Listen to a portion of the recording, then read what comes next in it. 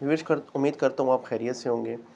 آج جو میں آپ کے سامنے جو ٹاپک لے کر آیا ہوں، اس میں ہے اینٹی بیوٹکس اور اینٹی بیوٹکس کیوں استعمال ہوتی ہیں؟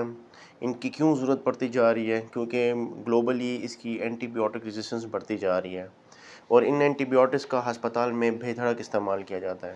تو میں آپ کے نوٹس میں لاؤں گا کہ اینٹی بیوٹک یہ جو آپ کے سامنے میں نے پیش کی ہوئی ہے، ٹینزو کے نام سے آتی ہے مارکیٹ میں زوئسن آرشیڈل اس طرح موسٹلی مختلف ناموں سے آتی رہتی ہے۔ تو آپ کے نوٹس میں ہونا چاہیے کہ اینٹی بیوٹک کب جب آپ کو لکھی جا رہی ہے تو کیوں دی جا رہی ہے۔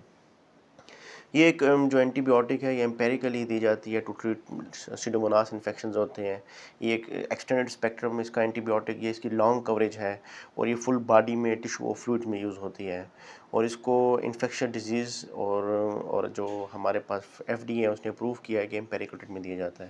اس کی انڈیکیشن یہ ہیں کہ انٹرو ابڈومینل انفیکشن میں دیا جاتا ہے۔ نوزوکومیل نیمونیا سیپٹیسیمیا میں فیبرائل نیٹروپینیا میں دیا جاتا ہے۔ اسکن اینڈ اسٹرکچر انفیکشنز ہوتے ہیں، ان میں دیا جاتا ہے۔